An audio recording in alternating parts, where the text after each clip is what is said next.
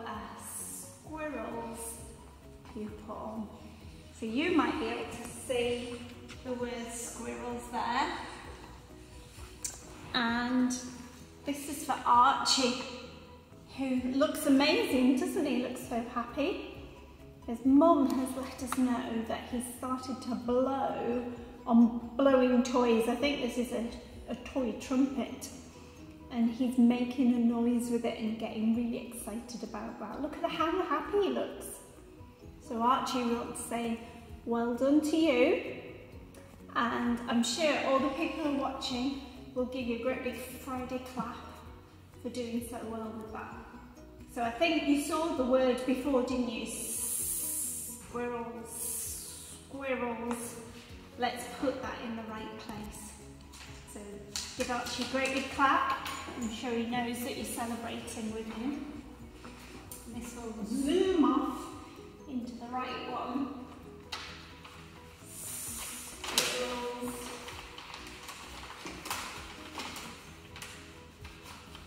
There we go. Well done, Archie. Our next certificate is for. And Lewis is in one of the primary classes. Do you want to have a look at the names? Do you remember which class he's in? I bet you've got it. I bet your reading is getting really good. All that home learning. You're right. Can you read it? Well done. Hedgehogs. So Lewis has been enjoying spending time on a farm. How special is that? That's where he lives at the moment. He's been watching all the sheep their lambs, the new mums, looking after them. That sounds exciting, I think. So Lewis, sounds like you're having a really good time there, watching all those new exciting things in the countryside. And we're going to give you a big clap. Get ready, everybody. Clap for Lewis.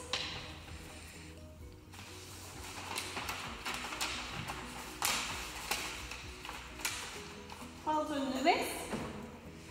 And the last star this week, remember said not everybody can get a certificate at the moment because we're not all here, we're not all able to work at home.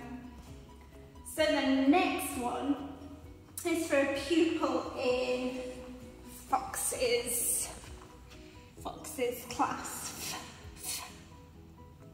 And this one is for George. Look at what George is doing at home. Looks really happy, doesn't he? And he's been exploring some sensory things with some new ribbons at home.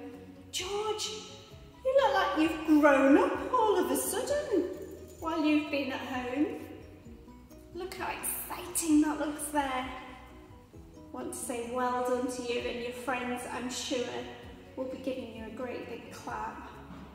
So George, really good that you're enjoying that time at home and we'll put this in the right place.